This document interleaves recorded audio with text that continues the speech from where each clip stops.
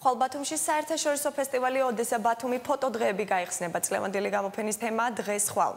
ექსპოზიციები სხვადასხვა ადგილას საგამოფენო და საჯარო სივრცეებში მოეწყობა. ფესტივალში ქართველებთან ერთად ამერიკელი, კანადელი, უკრაინელი, სომეხი, ბელორუსი და ინდოელი ფოტოხელოვანები მონაწილეობენ.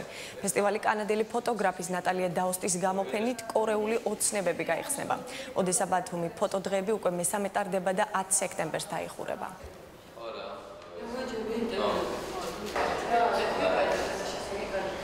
ფესტივალი მნიშვნელოვანია იმით, რომ აჭარაში პირველად ტარდება ესეთი მასშტაბის ვიზუალურად სანახაობრივი და ძალიან დატვირთული გამოფენები.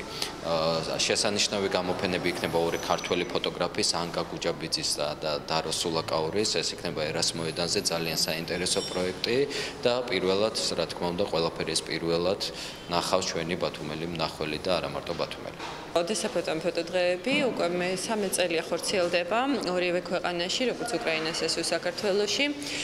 საინტერესო ის არის, რომ ორივე ფესტივალს ერთი წლის განმავლობაში აქვს ერთი თემა და სხვადასხვანაირად არის ეს თემა წარმოდგენილი ორ ქალაქში. ძალიან მნიშვნელოვანია, რომ გარკვეულწილად ჩვენ გვაძლევს ეს ფორმატი საშუალებას, რომ ერთი ქვეყნიდან ნახოთ მეორე ქვეყანაში ოფასად და ერთი მეორე ქვეყანაში შესაბამისად უკვე სხვა გამოფენები.